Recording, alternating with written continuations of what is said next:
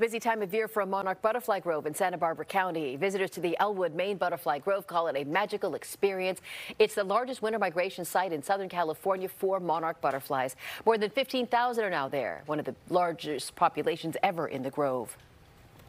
To witness this natural phenomenon and what we just witnessed a few minutes ago where a whole cluster burst, they all took flight at the same time. It's sometimes there's no words. It's amazing.